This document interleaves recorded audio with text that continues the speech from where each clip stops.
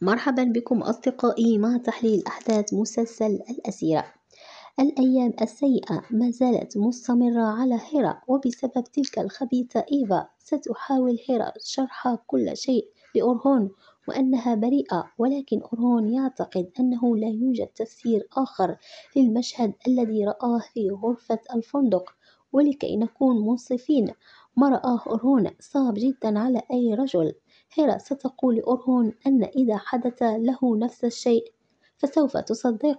وستقول لأورهون أن هيرا التي يحبها أورهون ويثق بها كثيرا مستحيل أن تخونه أبدا. وستخبره عن سبب ذهابها للفندق ولكن شك الخيانة لن يترك ذهن أورهون وسيستمر في غضبه. باتجاه هيرا وستعاني هيرا بين جدران ذلك القصر الضخم وبجانب الرجل الذي تحبه ولكن بعيدا عن قلبه. وعندما يرى أورهون هيرا منزعجة سوف يبدأ بيفكر أن هيرا قد تقول الحقيقة. ونتمنى أن تستمر ثقة أورهون في هيرا وأن يراها بقلبه كما قال ويكشف الحقيقة.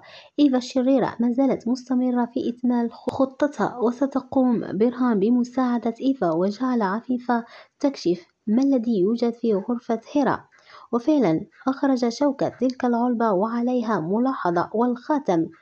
وفي وهنا الصدمة. سترى عفيفة تلك الملاحظة التي كتبتها إيفا. والملاحظة تقول إنني أتطلع إلى اجتماعنا مرة أخرى. نحن نعلم أن عفيفة لن تصدق هيرا أبدا وغضب عفيفة سيتزايد أكثر.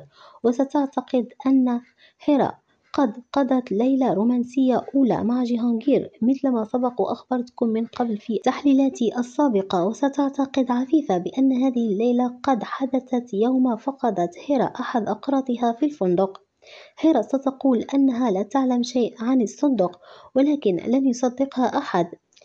حتى تلك الرسائل التي أرسلتها نورشاه لن تكون في هاتف هيرا لأنها مثل ما قلت لكم من قبل إيفا ستقوم بحذفها لأنها اخترقت هاتف هيرا ولا يوجد دليل حتى الآن على إيفا وخطتها الموالية ستكون ضربة لعفيفة. فحتى لا يتم الكشف عن أفعالها جعل جهانجير يصدق أن عفيفة تريد نصب هذا الفخ لأجل إبعاد أورهون عن هيرا حتى أورهون قد يبدأ بالبحث في الموضوع وسيشك بعفيفة ولكن أعتقد جهانجير كذلك. إذا رأى تلك الملاحظة سوف يتعرف على خط يده من خط يد إيفا وسيكشفها أمام الجميع. وحتى إن حدث ما حدث هيرا ستظل في القصر تعاني في صمت وتمثل العلاقة السعيدة لأجل علي حتى إلى حين ظهور براءتها. وكان هذا هو الفيديو. لا تنسوا تجيب بلايك وشكرا.